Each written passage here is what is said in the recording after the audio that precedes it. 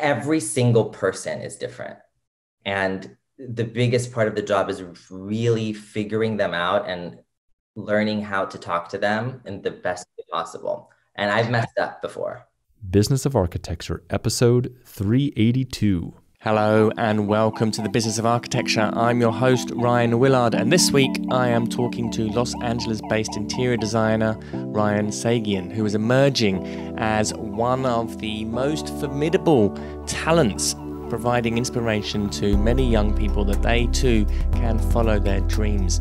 Ryan is only 28, and even before hitting his 30th birthday, he's overcome many challenges to find international claim, become a social media darling, and is now building his own product empire.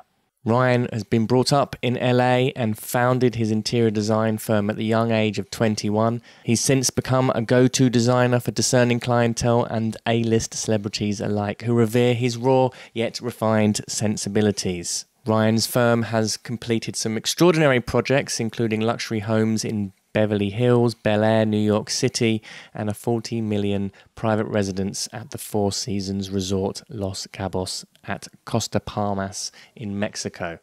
So, in this interview, we talk a lot about how Ryan has grown the practice, how he's used social media to leverage and win work, how he interviews his clients and has them enrolled into his design vision and methods of working. So, this is a really insightful interview.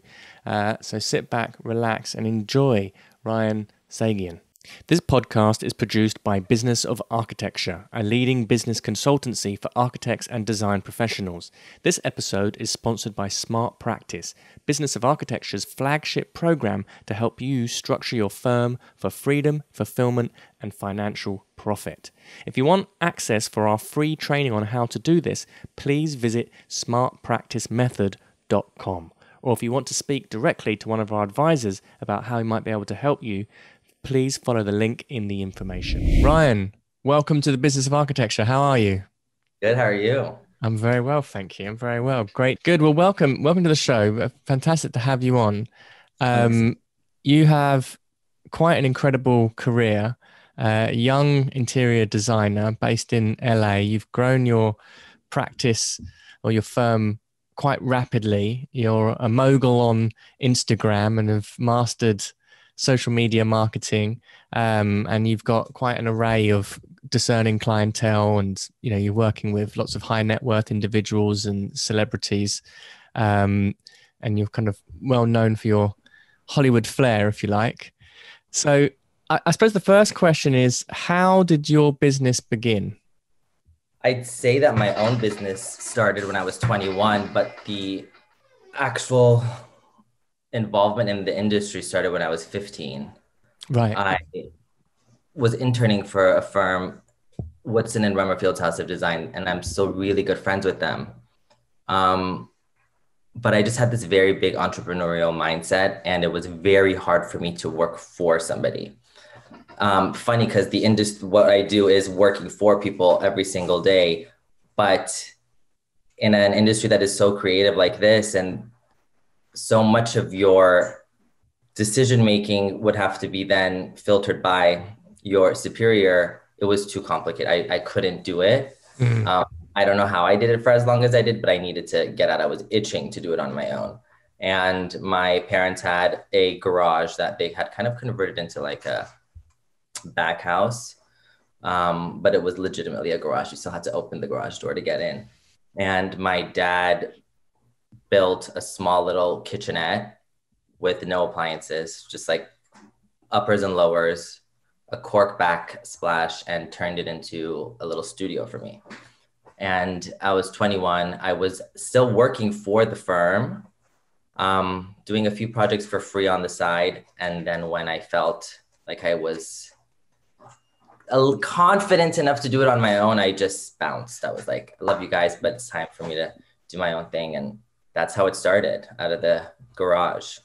That's that, uh, it's it's it's quite young to set up a business in the design industry in many ways. What? How did you? It was so intimidating, so intimidating. and, and particularly in the kind of um, circles that you operate in, it's a very well established market, if you like. There are many seasoned players. Many. How did you manage to get your foot in the door, if you like, or get those first few clients? You know, if I didn't have the community that I have here in LA, I wouldn't have. Um, I don't think succeeded because it's very rare that there's a young, hot, cool designer in the interior design world. It's that's a little bit more what fashion covers. Right. And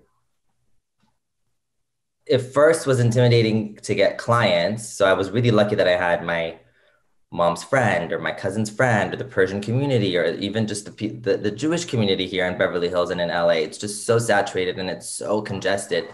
Um, they gave me the initial jobs that I needed to build the portfolio of work that I have now to be able to get the jobs that I want in a more diverse community of people. Um, but to tell you, it wasn't at first the clients that were extremely intimidating. If you just walked into the design center and you went into a showroom, like, and you were trying to source samples, no one wanted to help me. It was like, who is this kid? They either asked me, who do you work for? Or they wanted so much evidence that I actually had my own business a website, a business card, um, a resale number. It, I couldn't catch a break. No one took me seriously. And, you know, honestly, to this day, now, obviously, they do because my age should not be what is working against me. It should be what's working for me because I am that millennial. I am that next generation. I know technology and how it can help get the job done more efficiently and a lot and communicate your design a lot better to your clients digitally and especially now with this whole covid like mm. everything virtually it was an easy thing for me to kind of dive into because of the way that i was trained. How do you how do you deal with your age if you like? Do your clients still are concerned? Do they ever bring that up and think oh you're you know you're too young or do they ask about experience? How do you navigate? They have a lot of knowledge of whatever respected fields they're in and a lot of money and a lot of confidence. I educate them. And that's where my education really comes to play i talk about the scale of why this won't work with that i talk about the historic periods of where they were actually from and how although we like to mix things, sometimes a very heavy juxtaposition can become a complete clash. I educate them on that stuff. And that's when I gain their respect even more because they know that I know exactly what I'm talking about. And I do like my favorite class was furniture history, was architecture history. Mm. Um, if they want to tear down a wall or they want to restructure a room, but I know that that design or that casing or those moldings or th- that archway is so true to the architecture of the house and changing it would be like murdering it i communicate that to them and they understand. They're every single person is different. And the biggest part of the job is really figuring them out and learning how to talk to them in the mm. best way possible. And i've messed up before i was, I was going to ask you how do, how do you know how to talk to certain personalities is there like a psychological profiling tool that you use or oh, you can tell like you you can tell like I'll throw things out like in the initial meeting if if I, let's say we're going over like images of inspiration I'll say this is so effing hot and I can quickly see if they pull pull back or get a little tight okay mm. this hmm. person doesn't like cursing and this person doesn't like talk, which I don't understand why you would hire me then, because if you know me and I'm very, very, very vulnerable and blunt on social media. Yeah. And that is like my primary way of I, I, getting clients. So usually it's very rare, actually, it's never happened where somebody um, interviews me and has not heard of me or been following me or is familiar in any way, shape, or form with me and my work. Um, so if you're hiring me and you, you're surprised I talk like this, it's kind of weird but there have been mom- times where I've been hired. Usually it's by the wife, and the husband doesn't really know me. So then right. I have to really study him. And you you just feel it out. Maybe I think I have a high emotional IQ. I wish I had a high IQ and some other things, but I have a high emotional IQ, which is really advantageous in an industry like this where being really personable, personal, and one on one is um, it, it's a big part of your stock and trade. But how how did you learn these? Was it how did you learn these skills of um, emotional awareness or emotional intelligence? Was it something you've always had, or you've kind of nurtured it, or, or was there a period of life where? Oh, it's my gift. Like we all have a gift. I have I have that gift. um, no, I think just being ultra sensitive. I'm really, really, really sensitive. Mm. Um, I used to think it was my biggest weakness. I hated it, especially in high school and especially as a closeted gay kid throughout all of my adolescent years. But um, I ended up realizing through a lot more perspective and time that it was one of my greatest assets and my greatest strengths. My ability to sense on such a deep level. I can, I'm not a psychic and I never want to be. I just could feel the way somebody feels in that moment, kind of like empathically. Mm. And I think that's just my intuitive nature, just my sensitivity. Has have you ever got it wrong with what? the client? Have you ever got it wrong with a client? Yeah. Oh yeah. Oh yeah. And how do, how do you recover from? But it only happened once. Right. It only happened once, and it was when I was really excited. I was a little bit more on the immature side. Look, again, yet you don't want to admit it because you want to say respect me for my age. There was a time where my age did work against me because I was still a young kid, and I would sometimes treat clients who were much older, and I had to be much more professional as if they were my peers and they were not. So I have said and done things before that were a little de- detrimental to my career, but I'm also a really quick learner and I just never did that again. How do you continue to maintain the relationships with your with, with your clients and how do you and how do you keep expanding your kind of circle of influence if you like? So one thing I do is I'm not professional fully. I think that there's a level of professionalism um, that you have to have, and I have. Mm-hmm. But I, I like to become friends with my clients.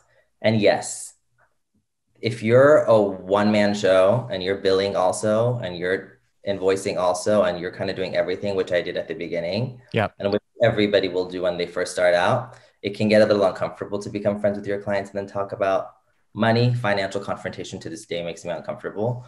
But it's a lot easier now whenever it comes from another person's email in my office and I'm never discussing money with them.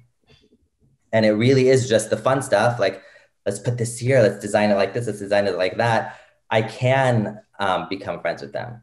And we'll, they'll invite me to dinner, we'll go to birthday parties at their house, they'll come to my house. And that friendship in a way overpowers i think that friendship lets the re- project go a little bit more smoothly but then it also opens me up to an entirely new world let's if i am friends with them and i do go to their birthday party um, i meet all of their friends um, they talk about me to all of their business associates and their colleagues and it just expands and expands and expands and actually i never thought of it but you just bringing it up to me i think that's a big reason why my network grew so much and I got so many more clients, it's because of that relationship I built with them and the friendships that I built that then brought me more and more. Mm. You, you were saying how in the early days that financial confrontation and still now is something that you you know you dis you dislike. How do you how do you deal with it now differently to how you did it in the past?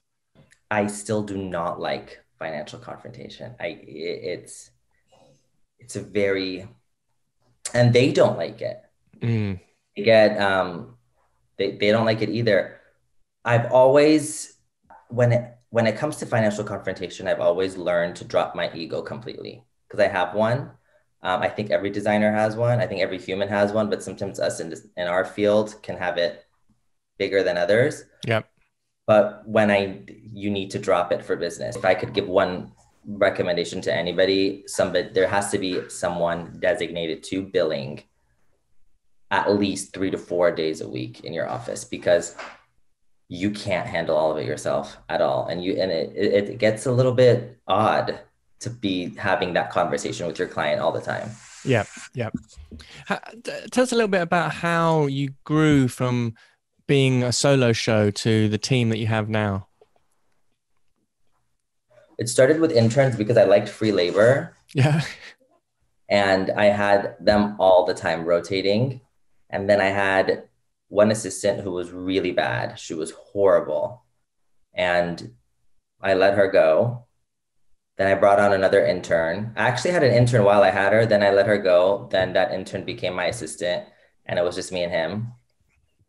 Um, I remember it was like really just me and him in the office. And then after that, I brought on another intern. I was always an intern, and if I liked them, I hired them. It was the right. best way because you have them for like a what is that phrase? Pro, pro probationary period. Yes. And you, if they're good, you keep them.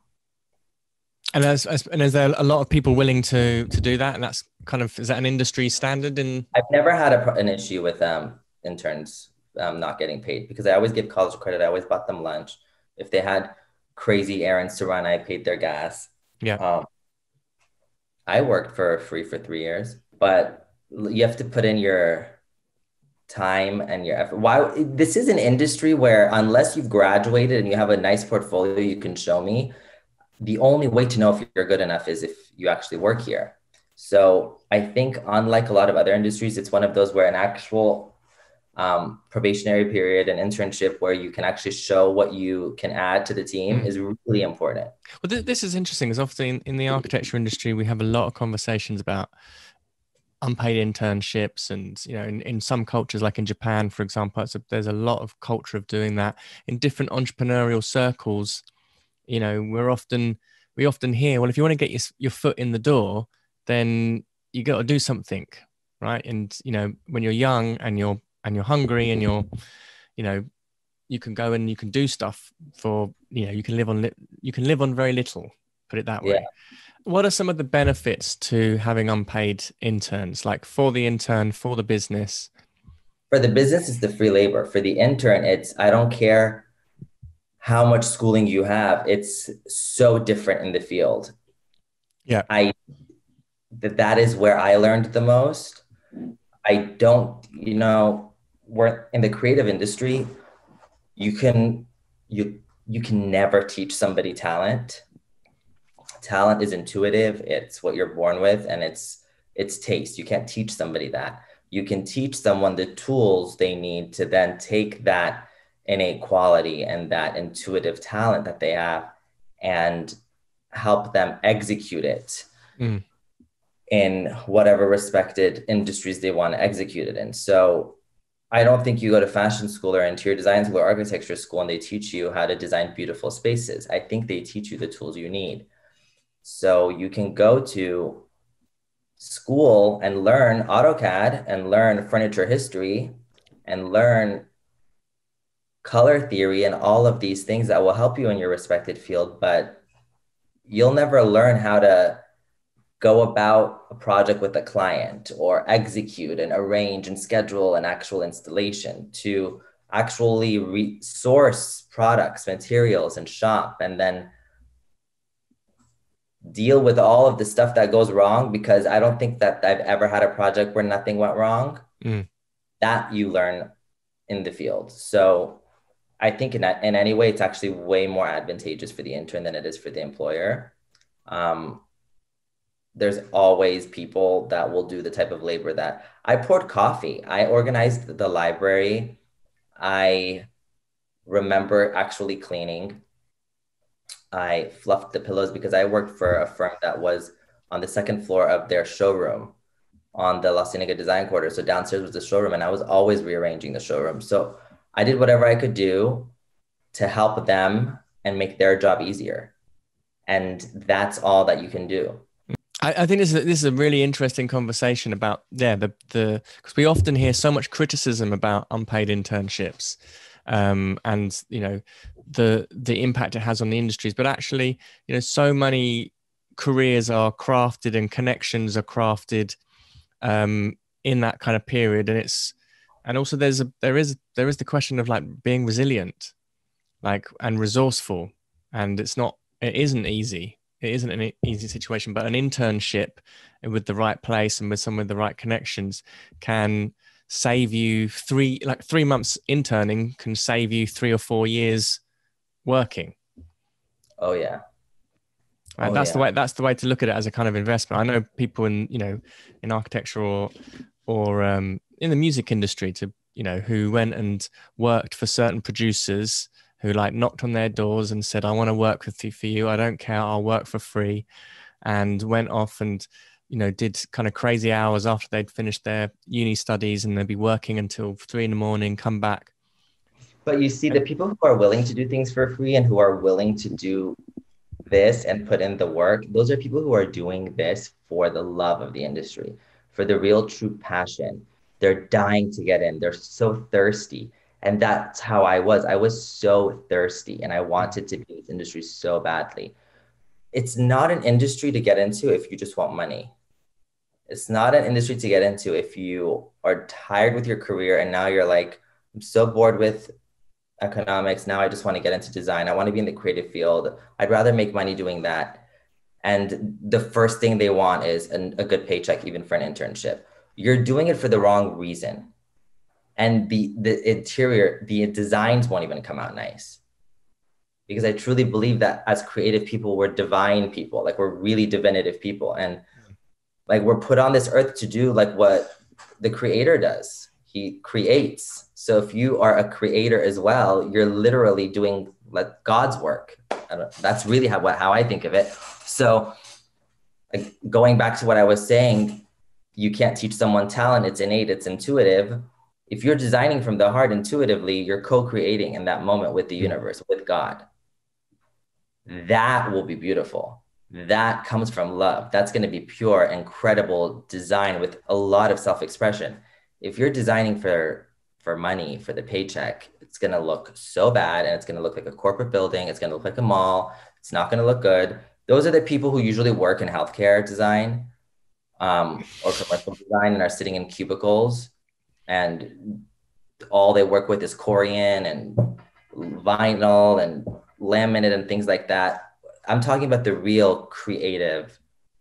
Where did you find that? How did you do that? Mm. Incredible spaces. And those designers, those big, big, big names, they were thirsty. You can go and read all of their stories and all the things that they did, whether it was waitressing so that they could make money to start their own company or whether it was interning for free that and look for that whenever you're looking for your interns the people who look like they have ambition in their eyes and they're excited and they're dying to get in versus those who are like well how much are you going to pay me if i come here i mm. hate how so, so how do you now balance kind of getting paid and and creating beauty I know that. Um, and do you, do you, ever, do you ever find yourself like, you know, get tempted to do a job just for the money? And yeah, it's happened. But as someone who is so in touch with what I'm saying, mm.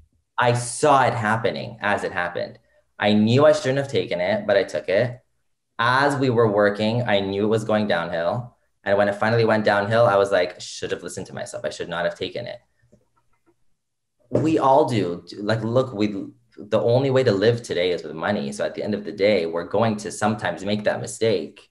Um, and I think I'll probably make that mistake a few more times. I, mm. Who knows? But my point is, it will never be smooth because it's not soul work. It's it, it's beyond that. It's all ego.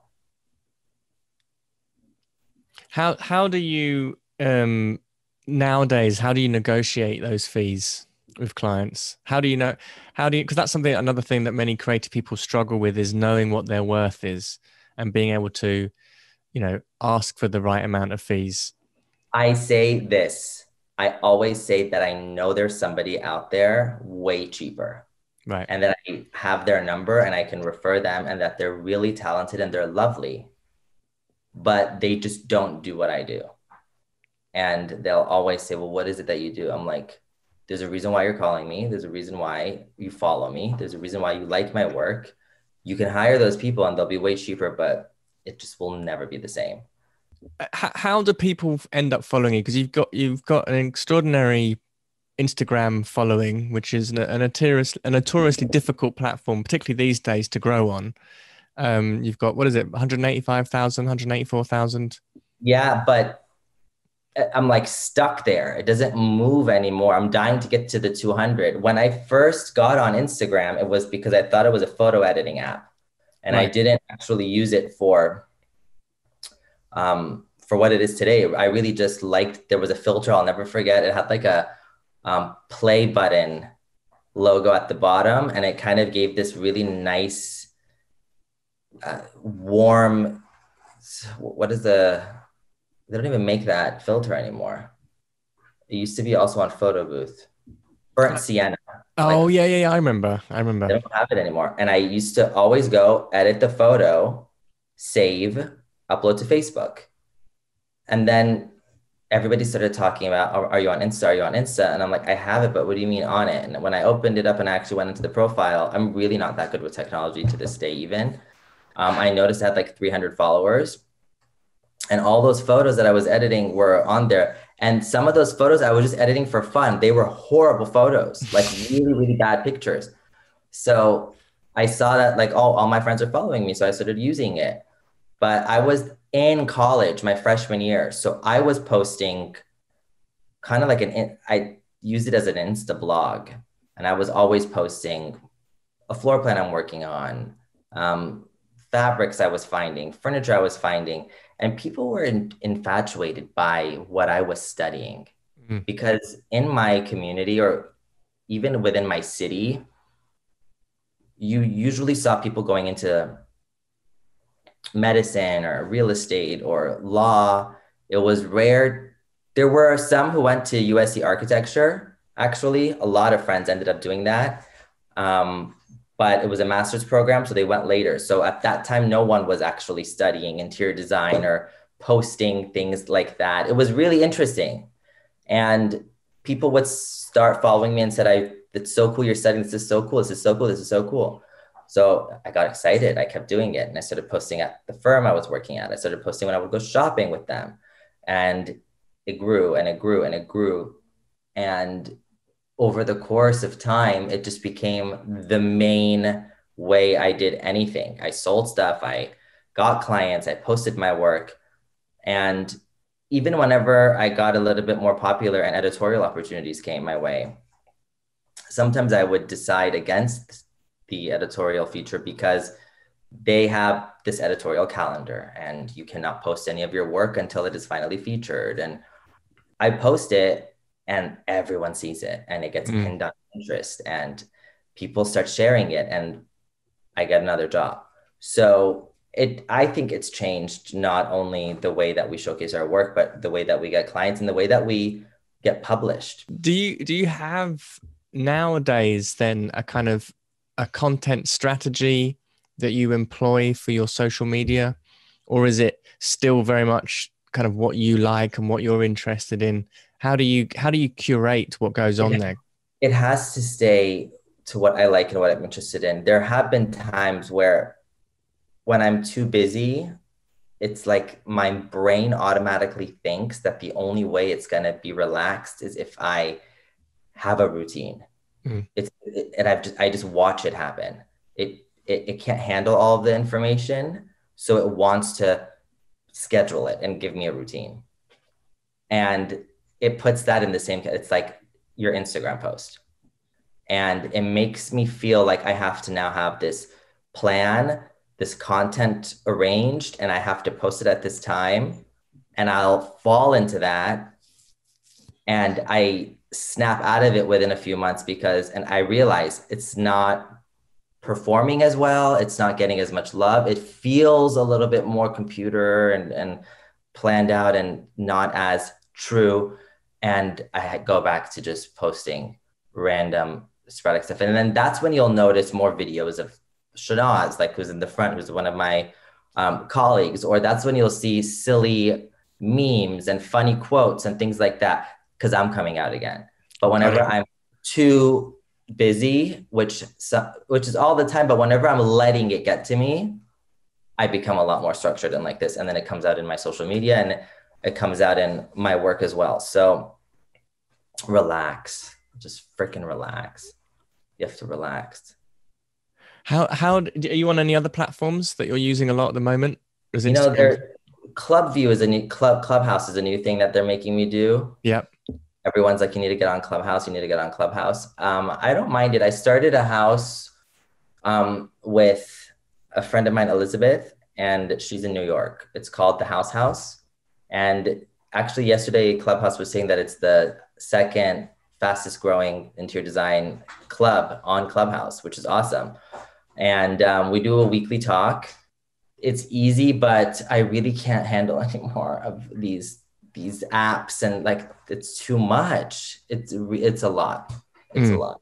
It's a lot. How, how do you how do you kind of maintain balance and harmony in your life? I don't. In a very bad place. I'm talking to my therapist about it because I actually have not made any time for myself.